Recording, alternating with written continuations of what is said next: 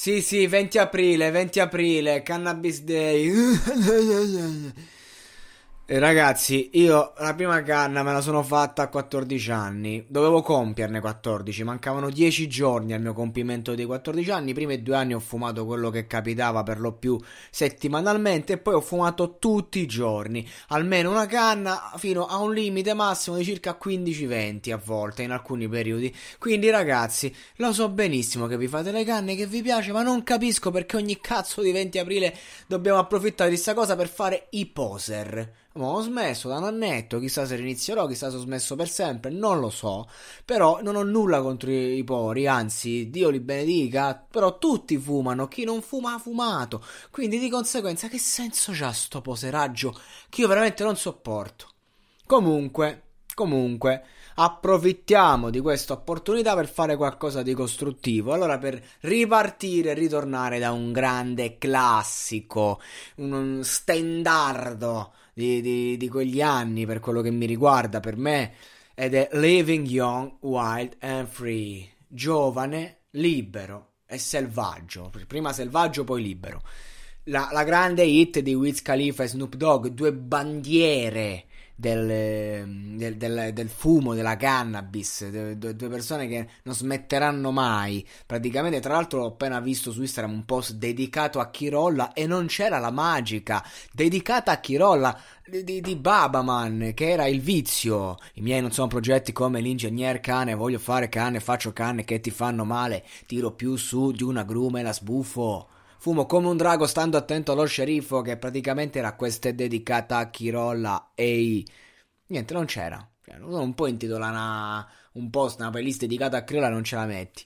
Comunque, dedicata a Chirolla mi sa che l'ho fatta. Quindi di conseguenza non la faccio oggi. Se non l'ho fatta vi chiedo scusa, la recupererò. Ma adesso arriviamo qui a Young Wild Free.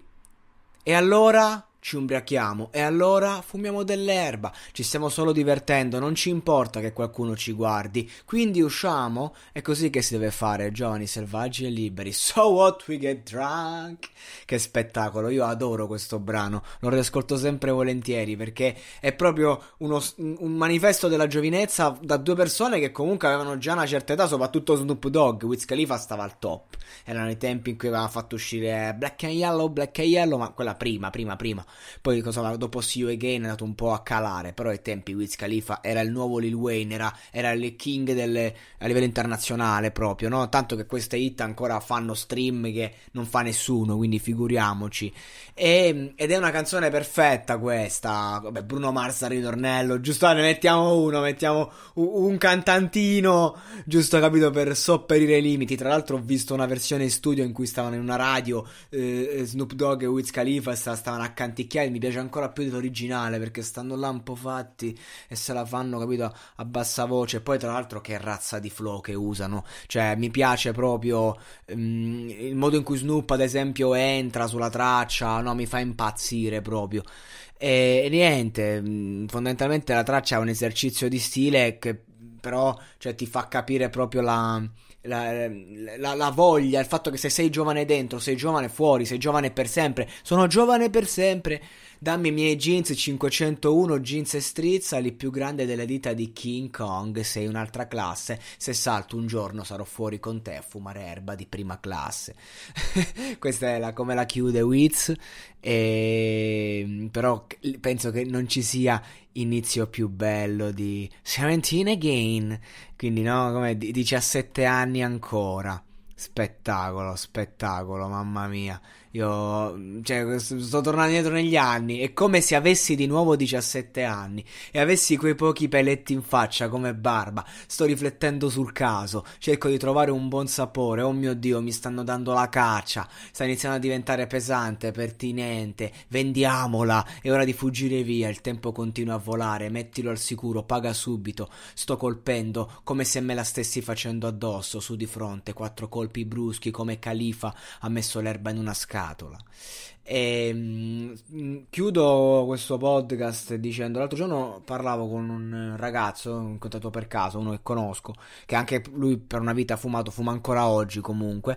E mi disse: A me l'erba mi ha aiutato tanto perché ero molto aggressivo. Questo è un ex pugile, faceva proprio la professione, poi purtroppo un incidente. E parlavamo proprio di questo fatto: del perché, nel senso, in che senso ti ha aiutato. E, e, perché comunque, cioè, tu magari sei uno che esce incazzato, caccia dello sconto perché ce l'ha col mondo, no? E, e comunque sei uno che, mm, cioè, eh, ragazzi, voi sapete cos'è la cattiveria?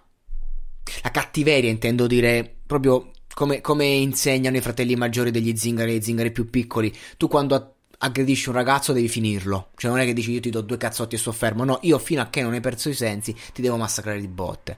Quindi se tu comunque hai una mentalità da rissa da strada, tu sai benissimo che nel momento in cui parti non puoi fermarti. Questa è una lezione che io ho imparato. La mia prima rissa, diciamo, ufficiale, ne avevo fatte di ragazzate, eravamo piccoli, però la prima vera rissa a cazzotti violenti in faccia eh, contro proprio un albanese, tra l'altro. E io partii, gli di due cazzotti in faccia, riuscì anche a stenderlo, questo si rialzò, mi grocchiò di botte in faccia, perché? Perché io mi fermai, lì capii, da lì non mi sono mai fermato quando ho litigato, fortunatamente non capita da tempo, a parte una piccola risetta con mio padre, tanto piccola non è stata qualche mese fa, però fu necessaria.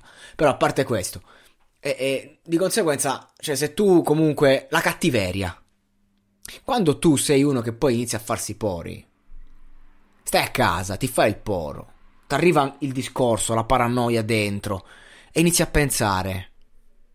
Eh, ok, ma io mo magari cioè, sto, sono qui, sono fragile. Cioè, io non mi va di rischiare di prendere botte. Ok, quindi anche la tua aggressività la calmi perché tu, sei, tu inizi a ragionare sul fatto che ha fatti concreti. Così come tu puoi crocchiare di botte uno, può crocchiare uno di botte te senza pietà a farti male, a spaccarti i denti, a doverti fare operazioni, roba di sto genere. E allora questo qui mi diceva praticamente che lui era molto aggressivo, era uno che voleva fare botte e cattivare, quando ha iniziato a farsi le canne, ha iniziato a farsi i ragionamenti e ha smesso proprio di, di essere aggressivo. Ok, so, so, è una cazzata fondamentalmente, però è la verità. Cioè, fondamentalmente le canne possono aiutare molto in questo senso perché molte persone si sono calmate proprio quando hanno iniziato a fumare perché ti mette una condizione di uh, di, di, pace e anche un po' di sana paranoia, ecco.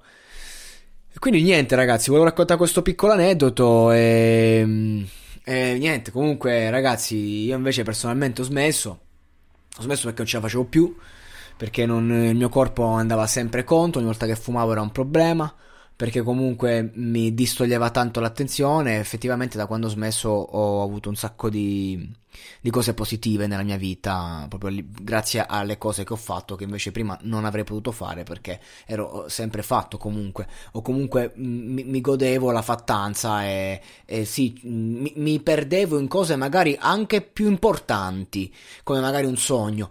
Uh, però perdevo di vista l'obiettivo e quindi mentre prima sognavo e basta, oggi costruisco il mio sogno. Non che prima de- di smettere non l'avessi fatto, poi c'è stato un momento nella mia vita in cui ho capito che dovevo andare per la mia strada e non, non, non mi potevo permettere di continuare a fumare. Poi ho anche dei problemi miei interiori, proprio a livello eh, psicologico, e quindi non mi fa proprio bene fumare, cioè mi fa perdere il senso dell'equilibrio, vivo solo tra un estremo e l'altro, invece quando non fumo più ho diciamo un senso dell'equilibrio che è necessario per me. Quindi vabbè, vi ho raccontato la mia esperienza, volevo approfittare, comunque ragazzi, sempre giovani, selvaggi, e, e forti, non, con, senza canne, alcol e roba varia. L'importante è non scendere nella dipendenza non scendere nell'alcolismo, ad esempio, come dice bevi. Ok, bevi, però no, mm, fanno tutti gli ubriachi finché non diventi alcolista. Fanno tutti i, i, fumatori finché non ci diventi un tossico. Che se ti fumi 15 canne al giorno sei un tossico comunque, lo dico, sono stato una vita. Figuratevi, cioè, ho provato ogni droga, fondamentalmente. Certo, le canne sono quelle che fanno meno male e chissà, magari domani l'inizio però ragazzi, se vi posso dare un consiglio, eh, non esagerate con nulla. E se avete bisogno di andare avanti, a un certo punto dovete fermarvi, fatelo, tutto qua. Meglio non essere dipendenti da niente, tutto qua. Comunque, niente. Big up, monologato podcast is here.